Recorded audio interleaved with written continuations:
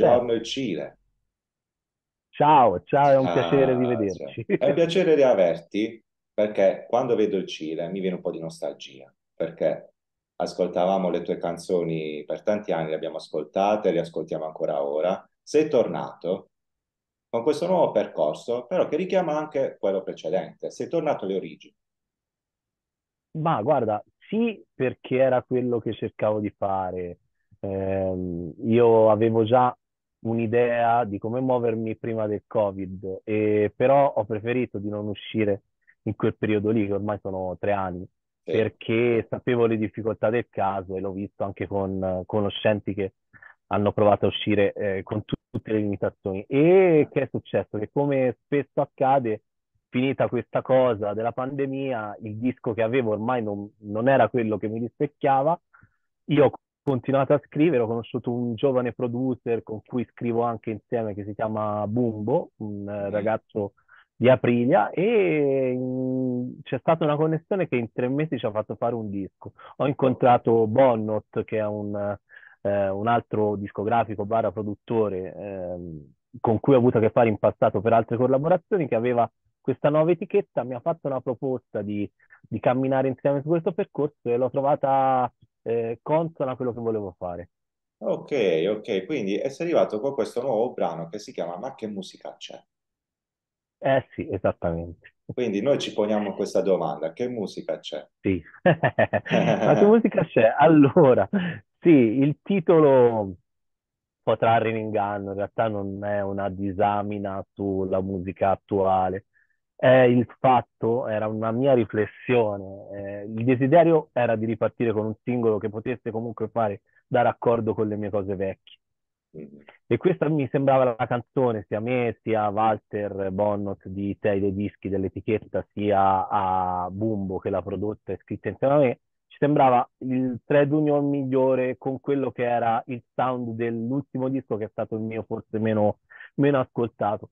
Però volevo subito ripartire mettendo in luce quello che è stato forse Mm, eh, l'imprinting iniziale de- del mio mm. stile, cioè fare un testo in cui non avessi filtri e fossi più crudo e diretto possibile, che è quello che poi il mio pubblico ha sempre richiesto nel, nel corso del tempo, cioè che mi ha sempre fatto notare che, che avrebbe rivoluto sentire. E quindi Ma che musica c'è? È un po' un, così, uno stream of consciousness di tante riflessioni sulla mia carriera, sulla mia vita, su quello che riguarda il mondo che ci circonda eh, nato in un momento in cui mi, riascoltando della musica, eh, così per passatempo, perché mi rimane sempre più difficile, facendo anche l'autore, eccetera, viverla come un passatempo come facevo da adolescente, mi sono reso conto che la bellezza della musica, quando eh, crollano le sovrastrutture di un lavoro, di una professione, è universale e immortale. E questo è ma che musica c'è, fa star bene anche me, nonostante i tormenti, nonostante il mio carattere diversamente tranquillo. Sì, sì, anche perché poi eh, abbiamo notato anche noi un cambiamento da, qua- da allora a- ad oggi. Ci sono tantissimi nuovi brani di, tanto- di tanti generi. Tu hai notato questo cambiamento, un cambiamento in positivo o in negativo? Allora, diciamo che eh, dopo Maria Salvador, ovviamente, per una grande fetta di pubblico, eh, era una persona, tant'è che eh, io ho sempre amato il rap, ho collaborato con tantissimi Sì, rapper importanti e di cui sono fan, Axe è sì, tra quelli. Però ovviamente ti si apre una fascia di pubblico che è diversa anche a quella di quella eh, che poteva essere mia del cantautorato, del fan del cantautorato eh, in questi anni eh, si è creato il genere eh, indie pop che adesso significa tutto quello che concerne eh, lo stile italiano, chitarristico, meno chitarristico, sì. urban. Quando io sono uscito nel 2012 c'era ancora molto più divario, tant'è che io che senza talent passavo in radio, venivo visto a volte da alcuni del settore come un venduto, quando ora è la normalità magari vedere Zen Circus a Sanremo, Brunori su sì, RTL, ascoltarlo. sì, Prima, eh, e devo dire che forse qui è stato, ehm, sono stati dei giornalisti a sdoganare questa divisione, a- ad abbatterla e a far sì. sì che la musica italiana in, co- in ogni suo connotato potesse, potesse diventare sia commerciale che eh, indie intesa come un qualcosa che si vuole eh, distaccare dalla classica canzone pop. Ritornando a me sulle collaborazioni, e da lì mi si è aperto un mondo dopo Maria Salvatore di, di tanti artisti che, eh, con cui comunque ho avuto contatti o conoscenze che, eh, che mi hanno chiesto di lavorare. Ripeto, come collaborazioni intese come featuring, eh, io ho questo problemino che faccio fatica a dire di no, però ho sempre lavorato con le persone con cui, con cui mi trovo bene sia artisticamente che umanamente. È ovvio che eh, il rischio del cliché dopo Maria Salvador di diventare un artista da ritornello era forte. Poi c'è stato appunto questo intoppo del Covid che non mi ha permesso di tornare con qualcosa di mio eh, e, e, effettivamente per un periodo ho avuto anche questa, questa fisima, come si può dire, del capire se avessi forse premuto troppo l'acceleratore sul lato, non propriamente eh, vicino a quello che è il mio vero stile, che è comunque di una persona che compone con una chitarra o con un pianoforte. Però, ripeto, mm, secondo me, eh, eh, nel mio lavoro specialmente, e per questo mi sono sempre tenuto fortemente aperta anche la porta autorale, eh, io sono una persona che cerca risultati a lungo termine e non mi piegherò mai eh, a costo anche magari di mantenere una carriera, se si può dire media, al concepire la musica solamente come un prodotto, perché lo è, come tutte le cose che poi sì, vengono certo. vendute, però nasce comunque da, da un, un, humus e un, un, moto interiore, secondo me, legato a qualcosa che è artistico e che, che muove de, de, delle corde dell'anima. E per questo io ritengo che ci sia spazio per tutto nel, nel creare, specialmente al giorno d'oggi, con tutte le possibilità tecnologiche, con tutta questa società anche virtuale ipervelocizzata, di eh, avere un eclettismo maggiore che prima non ti era permesso. L'importante è poi non tradire eh, quello che è il tuo essere, essere sì. primario che ti ha portato al tuo pubblico e è quello che vorrei fare con questo disco. Io ho letto che comunque entro fine anno ci sarà un disco, quindi anticipiamo anche questo. Sì, sì. Ci saranno delle collaborazioni, ad esempio? Al momento no, al momento io, eh, come ho fatto in tutti i miei dischi, eh, l'ho concepito come un lavoro eh, mio, però ripeto, anche da questo punto di vista, c'è talmente ehm, evolu- c'è stata un'evoluzione talmente eh, violenta del concetto di disco che ormai il disco è più un, un raccogliere dei brani sì. e parallelamente uno può far uscire anche delle cose extra disco che siano collaborazioni e cose perché proprio eh, la scomparsa quasi a breve definitiva del fisico ha, ha, ha dato proprio una scossa totale a questo concetto. Sto lavorando anche con altre persone, poi quello che verrà fuori, se finirà in un mio disco o nel loro disco, lo capirò, lo, lo vedrò, però al momento la rosa dei brani, perché a una certa uno si deve fermare perché non voglio rifare l'errore no, di questo, di, di, di, di, avere lasciato da parte un disco come ho fatto in quel periodo di stallo, nella rosa dei brani sono tutte canzoni già scritte da me insieme a Bumbo, cioè che Andrea Palumbo, questo producer collaboratore e musicista anche live, eh, che lavora con me, e, e hanno già una linea stilistica, eh, di contenuti, di sound. Poi, ripeto, io non sono una persona che si dà dei paletti, però riconcentrarmi su me stesso anche come figura okay. espos- esposta ci tengo. Ok, anche perché poi è la cosa interessante il sound. Quindi per chi magari eh, ti ha conosciuto solo per quei featuring, quindi come Maria Salvador, eccetera, che stile musicale troverà in questo singolo, ma magari anche nel disco che ci sarà? Ah, io credo che una, una, regola che ci siamo dati io e Andrea, appunto Bumbo, il producer eh, e collaboratore, coautore di molti brani, è che eh, ci deve essere dal punto di vista arrangiativo un parallelo emotivo, non deve essere solo un vestito, non ci deve essere una rincorsa al sound del momento, mm, come mm, spesso mm, accade nel, nella produzione eh. major, ma lo capisco perché eh, se funziona, ripeto, eh, sono due modi di vedere il gioco della music game, cioè eh, come prodotto e come con una durata e una scadenza o come qualcosa che può restare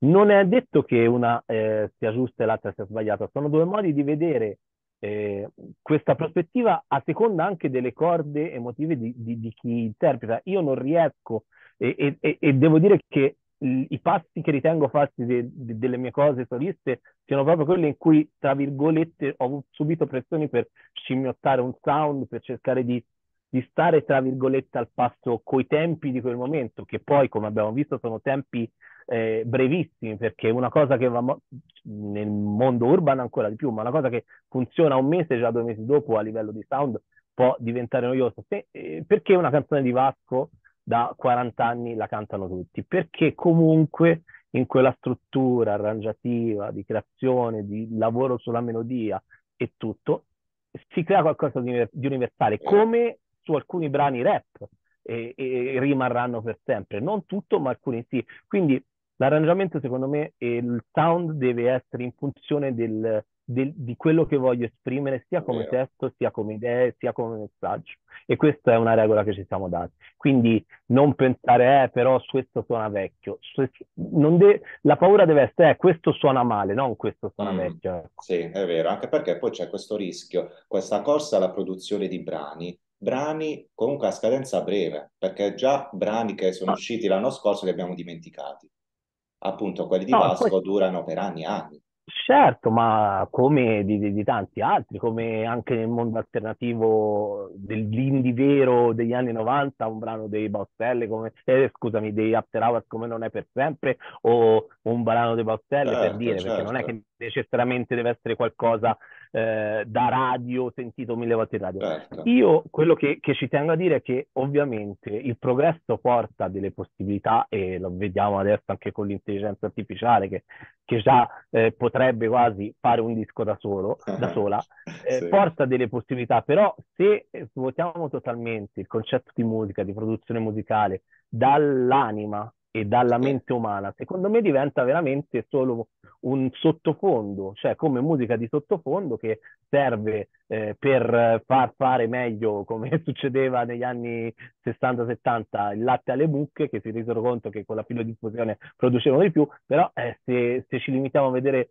eh, nella musica solo questo, credo che eh, diventi una castrazione forte per il messaggio e il pathos che ha sempre portato eh, un qualcosa che esiste dai tempi primordiali, cioè il concetto di suono, musica, eh, note poi eh, dal, dal, dal, periodo della musica classica in poi, cioè eh, n- non è come uno sport la musica, cioè se non a caso se è stata concepita come arte tanto quanto la pittura, è perché comunque eh, è uno di quei meccanismi che hanno elevato l'uomo ha levato il genere umano e quindi sì. non si può secondo me ridurre solamente, anche se può essere anche solo quello, a intrattenimento. Tutto sì, anche perché poi tu questo confronto generazionale lo, lo dici anche appunto nel brano che appunto hai presentato, anche il tuo percorso di gavetta che hai fatto, quindi comunque è un testo molto eh, importante. Quindi come nasce appunto sì. l'idea di proporre già Ma... subito questo? Guarda, io non è tanto che volevo creare col testo una contrapposizione generazionale, anche perché le generazioni sono incontrollabili, cioè è inutile fare un paragone con i miei bisnonni che hanno vissuto magari eh, delle guerre mondiali sì. e, e, dire eh, avevano dei valori e dei modi di vedere diversi da un ragazzino che, che ha imparato a leggere e scrivere con uno smartphone. È, è uno stup- è qualcosa di stupido. Le generazioni esisteranno sempre, esisterà sempre un confronto che tende a dire era meglio prima, eccetera, eccetera. Quello che a me preoccupa è qualcosa che, eh, cioè come magari a un, a un, mio genitore che ha avuto i, i genitori che hanno fatto la guerra e terrorizza il pensiero del contesto in cui sono cresciuti, ovvero bombe, eccetera, a me terrorizza il pensiero che questa alienazione dei giovani nasce da questa transizione che si sta facendo verso una vita virtuale sem- sempre più preponderante eh, per, nei confronti di quella reale. E questo secondo me eh, eh, c'entra anche la musica, proprio per il fatto che nel momento in cui accettiamo di scendere a patti totalmente col virtuale e accettiamo di dare al mondo virtuale la primaria importanza più della vita reale perché ci dà più soddisfazioni, ci dà la botta eh, dopaminica del like, del sentirci qualcuno che mai saremo nella vita reale perché la vita reale ci porta sempre a più costrizioni, viviamo in momenti difficili, eccetera, eccetera, porterà anche le, le, arti, intese come scrittura, intese come musica, come eh, anche la I che fa i disegni stessi, a diventare un qualcosa sia sotto appunto un controllo virtuale maggiore e, più, e in più, secondo me, svuotate da, dall'umanità, da quello che è eh, il moto interiore delle persone. E, e cioè, eh, in dieci anni, dal 2012, quando una canzone di tre minuti e mezzo era lo standard per la radio, ora siamo già a, a dei discografici che ti dicono che è due minuti e mezzo. Cioè, fra dieci anni che si arriva a due minuti, allora si fa solo un ritornello, si fa solo uno slogan. Questo, secondo me, è pericoloso nella misura in cui si cerca di preservare il messaggio umano che sia l'arte. È Ma vero. io non sono nemmeno un disfattista eh, alla musica, volevo dire, non sono nemmeno un disfattista, perché comunque la musica è sempre stata di, fatta di cicli. Negli anni Ottanta c'era, eh, c'erano i Duran Duran che erano una grande band tecnicamente, ma c'era anche tanta musica eh, intesa proprio come eh, usa e getta eh, di succedani appunto dei vari Duran, Spandau oppure l'air metal, roba così. Però dopo è arrivato il grunge, dopo arrivati, è arrivato un tipo di pop urbano, eh, di sì. strada, quindi negli anni 90. Quindi la musica è fatta di cicli, non la puoi sì. controllare. C'è caso che tra dieci anni le canzoni torneranno a durare cinque minuti. E, è quello la bellezza, la bellezza vero, dell'evoluzione. È vero, è vero. Poi eh, comunque tornando al tuo di percorso, adesso ovviamente non vediamo l'ora di vederti live. Quando ti possiamo vedere live? Ma io credo che a questo punto ora abbiamo in quest'estate fatto delle, eh, delle cose, diciamo così, di showcase, robe del genere. Però ci aspettiamo l'uscita del disco per fare proprio un tour strutturato come volevamo, io e la mia band, eh, che, che già comunque si sta preparando. Ecco appunto, il singolo è uscito il 7 luglio, riscontri. Come è mm. andato questo ritorno? Ah, guarda, eh, mi ha fatto piacere intanto essere entrato nelle playlist editoriali di Spotify in sì. due, addirittura eh, New Music Friday e, e, Novità Rap, che per me è una piccola medaglia perché eh, sono sempre stato visto come l'ibrido strano quando lavoravo con i rapper e finalmente qualcuno che in teoria decide le sorti della musica di oggi mi ha dato questo piccolo riconoscimento. Il pubblico mh, mi ha fatto notare che sono tornato a fare quello che cercavano, il mio, perlomeno il mio pubblico, ora. e ovviamente ora c'è da lavorare, c'è da da non stare fermi, ma avevamo pianificato tutto a suo tempo, quindi siamo, siamo, come si suol dire, presi bene dalla situazione. Carichi, sicuramente. Allora, per concludere l'intervista, ovviamente ti chiedo quali sono i tuoi obiettivi e sogni di quest'anno, magari dell'anno prossimo. Ma guarda, eh, fare uscire il disco che è stato la mia, la mia colonna d'Ercole da appunto prima del Covid, Un che si chiamerà il Giro Largo. Si chiamerà anche il Giro Largo, tra l'altro, che è una citazione sì. che poi alcuni coglieranno di una serie che si chiama Boris. Sì, e, sì, e, e, e da lì poi ricominciare a fare quello che so fare. Poi ho già, come ho detto, delle collaborazioni sia autorali e non, che da mesi ho messo in atto e vediamo poi che succederà con quelle cose lì. Se mi chiedi Sanremo, Sanremo è quelle cose tipo cabala che non sai mai se provarci meno. Se c'è qualcosa che ha senso di proporre come ovviamente eh, collaborazione perché eh, ci vuole di arrivare strutturati, magari eh, il tentativo si fa, però ripeto, non è questo adesso il mio, la mia visione concreta delle cose. La mia visione concreta delle cose è continuare a fare quello che sto facendo con le persone con cui mi trovo bene, che sono quelle con cui lavoro ora, in maniera continuativa. Eh, mi hai letto nella mente perché una domanda che ti devo fare era su Sanremo, perché... perché comunque molti ritorni ci sono stati ultimamente, quindi tra Paolo e Chiara, eccetera, sì. che poi hanno comunque portato fortuna perché stanno sì, facendo sì. un bel percorso. Ecco perché mi sono chiesto se fosse comunque il momento anche di lanciare un progetto anche a Sanremo, ecco perché.